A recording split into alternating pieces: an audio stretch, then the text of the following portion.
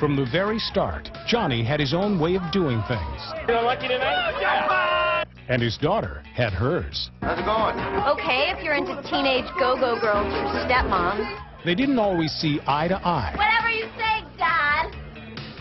They didn't always agree.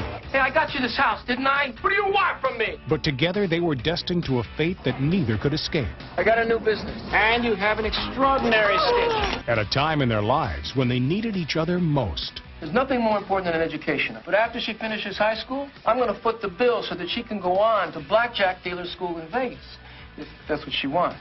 It was a life they never planned. You're different, Amy. You're really smart. You could do something with that. That's your ticket out of all of this crap. And a love they never bargained for. Is that beautiful or is that beautiful? That's beautiful.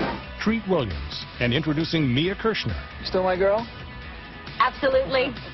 Johnny's Girl. From Hallmark Home Entertainment.